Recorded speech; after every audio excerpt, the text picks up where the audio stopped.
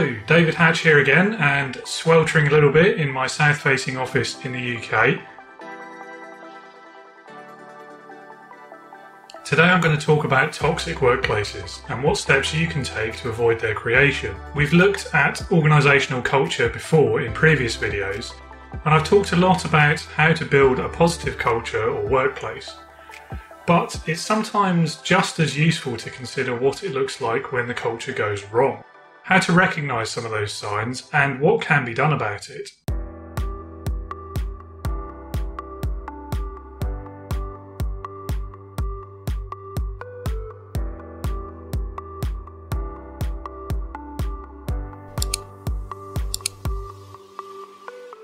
Hi, and thanks for joining me again. Today's video is all about toxic workplaces and the culture within them.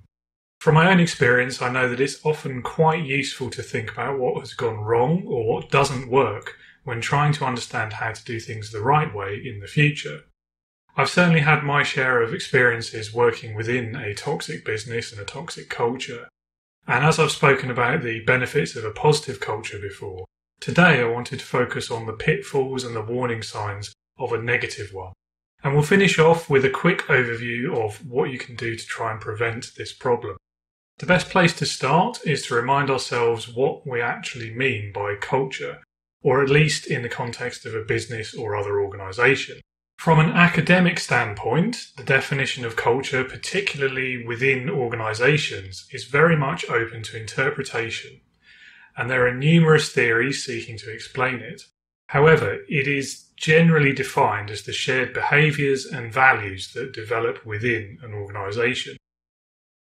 This can include the norms of daily life in a workplace, the way individuals conduct themselves within the business and towards each other, and even the kind of the general feeling or atmosphere within a company. So what do we mean when we say toxic in this context? A toxic workplace or culture, simply put, is one where there is prevailing negativity and a harmful quality to those behaviours, norms, and values. This can create all manner of negative effects for the people who are working in such an organisation, ranging from higher stress and lower self esteem to anxiety and really long lasting psychological damage. It's no exaggeration to say that toxic culture can ruin lives, and not just for the employees themselves, but also their families and friends. When holidays or time with friends are taken over by that kind of anxiety, exasperation, anger, and an inability to switch off from the problems of work, from a business or boss's perspective, it is easy to write this off as an emotional element and take an attitude or an approach that basically says, I'm sorry people are unhappy, but that's got nothing to do with me and it shouldn't be affecting their work. From a certain point of view, there is some logic to this position in that an employer may not want to become embroiled in the emotional or psychological challenges being faced by their employees. It's easy to ask the questions like why does toxic culture matter and what does it have to do with leadership or management? But to me, that way of thinking falls squarely within the traditional approaches to leadership that, as I've said many times before, I personally don't believe have any place in a modern business. Toxic culture and its resulting impacts are very much an issue for leaders to be concerned about. Even from a purely mercenary point of view, negative culture has been seen to impact business outcomes, including poor employee retention or high turnover of staff, lowering business efficiency, and even reduced financial success. Ensuring that a workplace is safe for employees is a definite responsibility of leadership, and this certainly extends to the mental psychological protections too. There's also a clear moral implication for employers or leaders. And finally, as we've seen before, happy people produce better work and tend to be more productive. As for what this has to do with leadership, well, numerous authors have made an explicit connection between leadership and culture. It seems clear that the two concepts do interact in most organisational settings. And for me, there are two key connections. Firstly, and as I've just discussed, as a leader, it is in your best interests and those of your organisation to ensure a positive culture prevails for economic, moral, and legal reasons. Secondly, in many ways, culture is a reflection of leadership.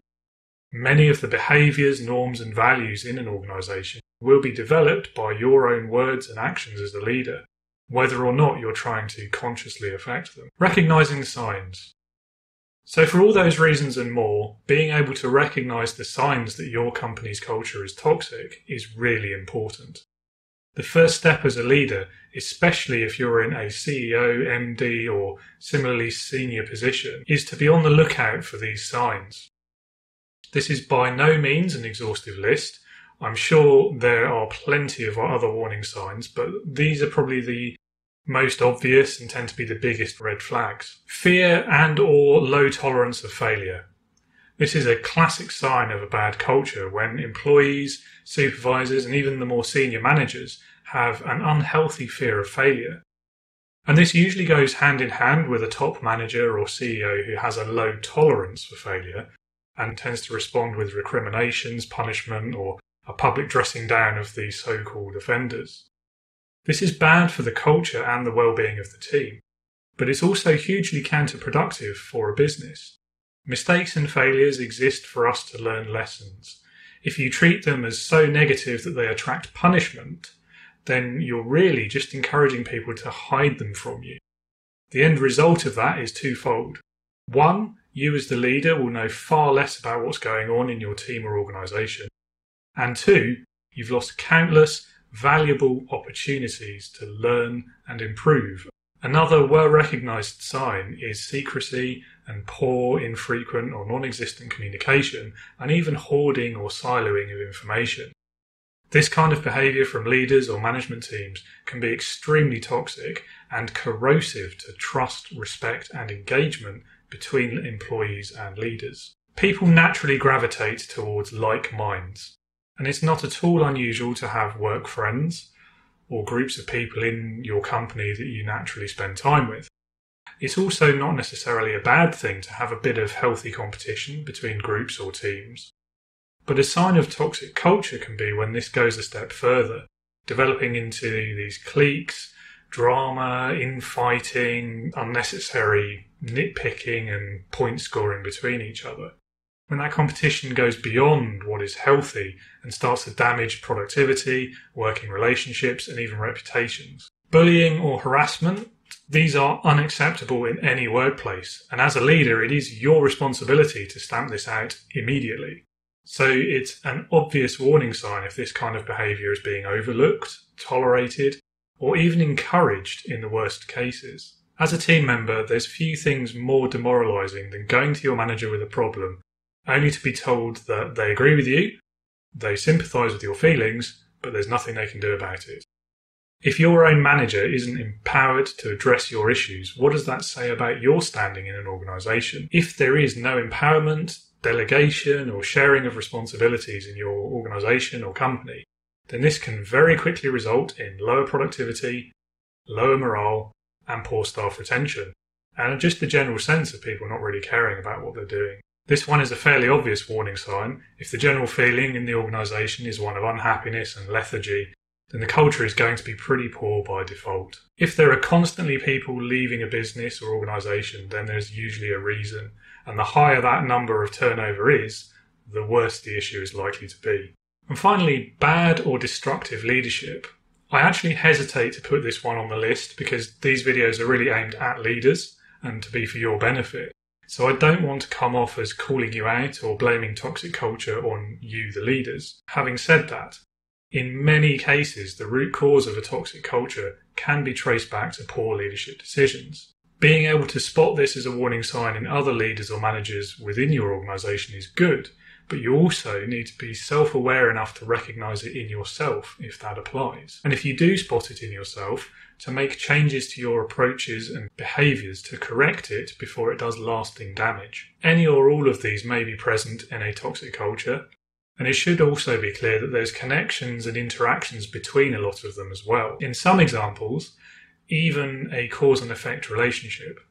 So spotting some of them early can sometimes help you prevent further damage. Which brings us to the final part of this video, where I'm going to try and give you some brief pointers for what can be done about toxic culture. The first and best defense is to prevent the development of a toxic culture in the first place.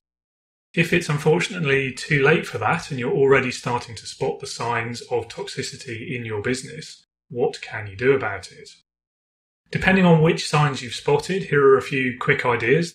Be present as much as possible. Absentee leaders are sending a clear message about their lack of focus or involvement, and this will leave any culture vulnerable to negativity.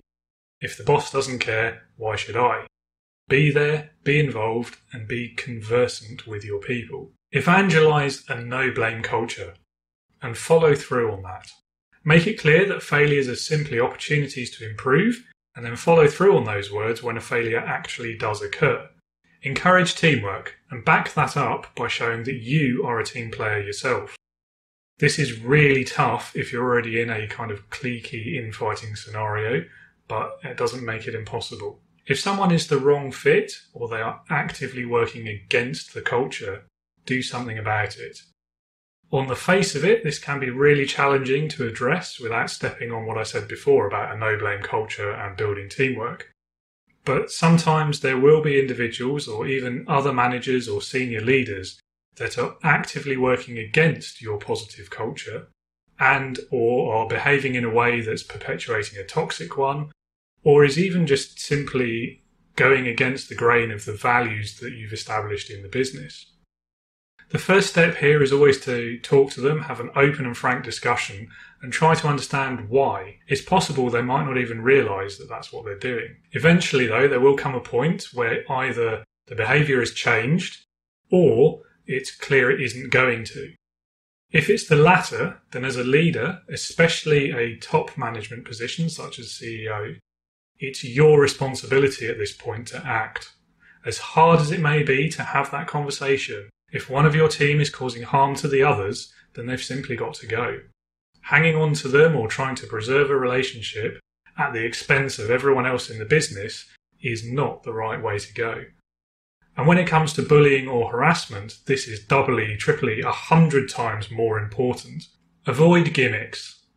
When morale and staff turnover are an issue, the knee jerk natural response is to try and find a quick, short term solution to improve the general level of happiness. Classic examples would be things like buying new office furniture, ping pong tables, bean bags, new plants, as well as maybe funding a, a quick company jolly, or even just introducing a new perk like a, I don't know, a gym voucher scheme or something similar to that. These aren't necessarily bad ideas on their own, but the problem is when you do them in kind of a haphazard, ad hoc sort of way, that just comes off as a careless and reactionary gesture and doesn't show your long term commitment to making things better. It kind of sends a message of, I heard you're unhappy, here's a new chair. It Doesn't really send the right signals that you've really taken the time to fully understand the challenges and consider what your people are feeling and why before coming up with a well planned solution. I could go on, but sadly, I think we're probably out of time for today. Thanks for watching this one. Please do leave me a comment and let me know what your thoughts are. And if you can also hit the like button if you enjoyed this video, that would be a big help as well. Next week, I'll be talking about one of the great debates in business and management, the leader versus management debate. And you can probably already guess which side of that debate I fall on, but do hit the subscribe and the notification buttons to be alerted when I upload that one. And if you'd like to learn more about leading with integrity or the training, coaching, and mentoring programs we provide, then you'll find some links in the description below this video. Thanks again for joining me today. Hopefully, I'll see you again next week. Stay safe and be a leader, not a boss.